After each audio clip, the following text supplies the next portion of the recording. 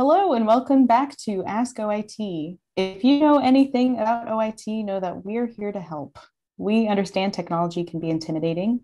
There's always something new, like a gadget, app, or tool to learn, and we recognize that it can be hard to keep up with. But we want to help make technology less intimidating. That's why we're here. Each month, we'll answer any questions you've got about tech. You can send us your questions and we'll do our best to help you out. We, being me, Yasmin Yahya, and me, And- Jesse Plaza. Then we'll share our expertise with you at the end of each month. Jesse, are you ready to answer some questions? Let's do it. Okay. We've got some questions about MFA, which is appropriate considering faculty will be required to have MFA set up by August 16th to continue accessing St. Edward systems and software. So let's tell our Hilltoppers what they need to know about MFA. Okay, so starting off with what it is. I'm sure you have heard us ringing from the bell tops about MFA and why you need to set it up. And you know it's called multi factor authentication, but you're not sure exactly what it is. Well, I like to go with the, uh, the bank metaphor. Um, you log into your bank account with just your password. It's super handy and super convenient. It's like a, a key that you don't have to actually physically have it's great and nice, but would you give your key out to anybody? Would you put your key anywhere where someone could maybe get it, like a notepad? Or would you use the same key on another lock so that maybe somebody, you know, puts some silly putty in the keyhole and then makes like a dummy key of it and they can. The analogy is getting away from me, but passwords aren't as secure as they used to be. Or rather, in today's modern world, they're just too easy to misplace, to reuse, to get leaked somewhere maybe you use your password on a different service and you're good and safe on this service with your St. Edward's account, but that other one gets compromised, and then your username and your password are out in the open, and anyone can sign into your account. Long story short, signing in with just a password is old hat, so we're rolling out multi factor authentication so that your password isn't good enough, because something that you know can be anywhere, it can be given to anyone. And once that gets out, it can be hard to get it back. So in addition to something you know, like your password, you'll also sign in with a second factor, something you are or something you have, something that can't be so easily disseminated throughout the web. Uh, like a code that's texted to your phone and only lasts for a certain number of seconds or minutes, or a USB stick that you plug in, or a phone call, or a bunch of other methods. So this way, Sure, okay, your password gets leaked. Maybe you accidentally click on one of those phishing websites and log into a fake page. Well, uh, in the old days, that'd be all someone needs to take over your account and start messing with stuff. But when they sign in and they don't have your second factor, they don't have your phone for the app or the text or the call or the USB stick, they can't get in anywhere. Your account becomes way more protected, and taking it over or attacking it becomes much harder. So we're rolling it out because it's basically the gold standard for security now. You're probably used to this if you have an iPhone. Every time you get a new Apple device, you sign into your Apple ID, and then one of your other ones sends you a code, and you have to put that code in to prove that you're you. Essentially, multi factor authentication is about logging in with more than just a password to protect your account. Very well said. I have a question for you. Oh, You mentioned uh, you know, reusing passwords. It's it's easy, but why should you maybe not reuse passwords for everything? Sure. So, you know, going back to the whole key in the lock thing, if you have a key that works in multiple locks, well, great, that's so many more doors you can get into. Similarly, if you use the same password on multiple websites, well, look in your nearest, you know, text section of the newspaper and you'll see another one every week. Services just keep getting compromised left and right for various reasons. Either they're attacked by top secret state sponsored hackers, or someone left a login page unauthenticated and someone was able to just waltz in and see people's passwords. You can't trust internet security these days. You really have to take it into your own hands. So if something that you use gets uh, taken over and your password gets leaked, you'd better hope that that's only good for that one account. Or people that want to mess with you or log into your stuff or rob you are going to start trying that username and password or that email and password on a bunch of different services. And if you use the same info for your St. Edward's account, they'll see, ooh, this person works for, teaches at, goes to St. Edward's University. Let's see what I can do. They could go and order a bunch of stuff with your top pretender, or change someone's grades, or delete files out of your Google Drive because they hate you. The, the reason doesn't really matter. There's a bunch of things someone could do to ruin your life if they get into your account, and we don't want that to happen. Excellent. Thank you. Um, so that's all fine and good, but how would uh, faculty, staff, student, anyone with the St. Edward's account set up MFA? Okay, this is actually the easiest part. I don't have to go on any like melodramatic, uh, philosophical rambles this time. You actually just do it through your account page, the same place you would go to change your password. You just go to identity.stedwards.edu and you sign in. And then when you hit that button to edit your profile as if you're going to change your password or do something else, there's a button at the bottom called extra verification, and it has all these different methods you can choose. Off the top of my head, you can get a text message sent to your phone. You can use an app if other services make you use MFA, like Google Authenticator. That's one of the ones I do. It gives you a code every 60 seconds. I have like 20 accounts in there.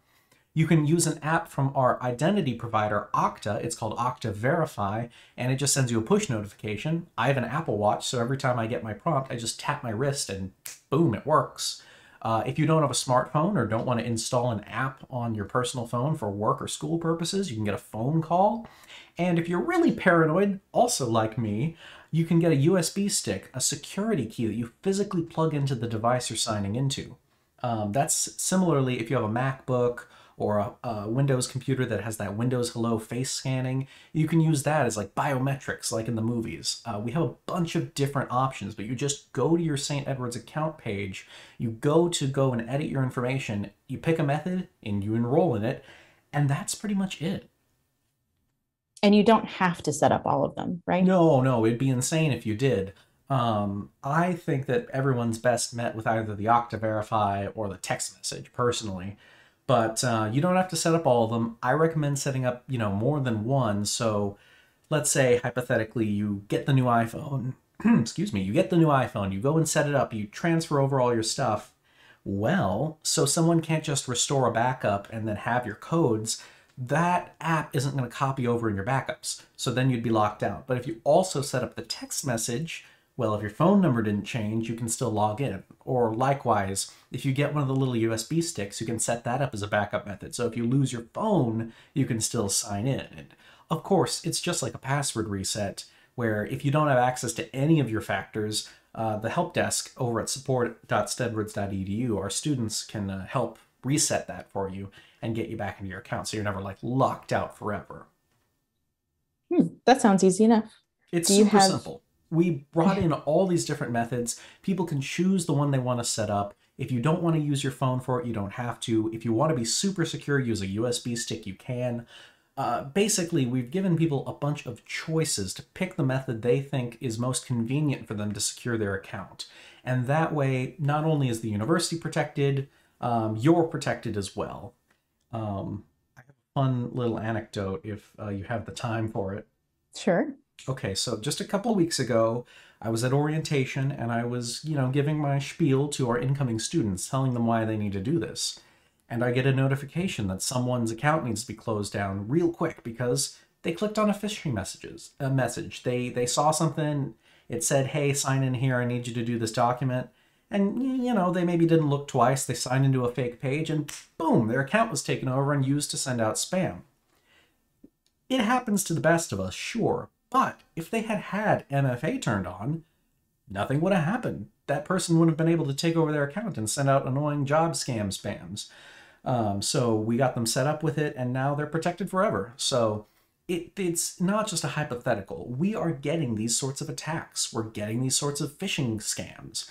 By protecting your account, you stop them from spreading to other people. The less chance that people have of getting compromised, the safer we all are as a community. And that's that's why I really want everyone to turn it on. That and we're forcing you to. well, it cer- certainly make uh, you know our cyberspace a lot safer for sure. Um, my personal favorite method of authentication is the fingerprint scanner because yeah. it's just more convenient for me. Um, but I believe I have all five out of five set up on my account. Not that you have to. Why but... would you do that to yourself? Yes, so many methods. Well, I do like that I can choose, you know, um, let's say um, the one that usually comes up for me is Okta, but um, maybe I'm closer to um, my fingerprint scanner on my laptop, for example. Um, I can choose whatever I want whenever I need to, um, depending on the context. So oh, okay, that makes sense, I guess. I'm uh, a bit more paranoid in that I've only got the Okta Verify app and the security key. I keep it locked in a safe, so if my phone, you know, falls off a cliff or something, I can still get in. But hey, we can all do it our own way, and our accounts are all just as safe. So, yay! Love to hear it. Well, that was a lot of really good information about MFA. Thank you, Jesse. Uh, any final tips or tricks about MFA that you'd like to share? It's a lot easier than it sounds. You're not going to get prompted on every login. Obviously, it would be really annoying if you logged into something, five minutes later you log in again, and you got that prompt both times, but you're on the same computer. Obviously, it's going to be you. It's going to try to remember the last uh, couple of devices you've used, so you can tell it, hey, this is me, this is my device, don't bother me every time. You'll maybe get it once a week or so. Uh, but if something like physically impossible happens, you sign in from Texas and then 20 minutes later you sign in from China, I don't think they make planes that fast. So you're going to get a prompt on that other account. And if that other sign in from China isn't you, they're not going to be able to get in. So um, we, we like to think that it uh, learns your behavior over time so you don't get constantly prompted with that second sign in. But at the same time, when you do, it only takes a couple of seconds. So it's not like the old days where you had to wait 30 seconds for your login profile to load from the network and all that old computer lab stuff we had to put up with in the late 90s and early 2000s. Yeah, the only time I get uh, prompted for MFA is when I'm I use like one of the computers in the library, which is not very often. All uh. Um, but it's already, you know, learned that sometimes I'm at my home office and sometimes I'm at the St. Edward's office. Um, and it's pretty easy. I also still like getting those emails saying, you know, sign in detected, even if it was me, because I know that systems are in place to keep me safe. Yeah. Yeah. If you ever get a random message saying you've logged in on a new device at three in the morning and you know you haven't signed into anything in a while, well, you know, maybe give us a call or uh, better yet, an email. Mm. Um, and Yasmin, where can anyone contact OIT support if they ever need an, uh, never ever need our help for MFA or anything else? Oh, fantastic question. Support.stedwards.edu. Um, it'll have all the resources that you need and then some. Um, specifically, our contact information. You can chat with us. You can send an email, use our contact form. Um, either way, whatever method of contact you choose, someone will get to you um, if you can't already find the information in our um, you know abundance of knowledge base articles which we have so many. So I suggest searching for the answer first. Wonderful. I'm glad that we uh, get paid to keep people safe and secure and knowledgeable in an ever changing, ever terrifying internet landscape. Well, I think that is it for all of this month's Ask OIT.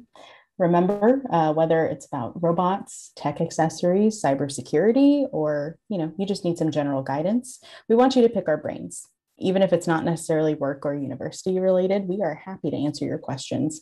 Um, you can also follow us on our social channels, Twitter and Instagram. It's at SEUOIT on all of our channels, and we'll keep you updated on anything important from OIT and then, you know, events, tech tips, exciting stuff always.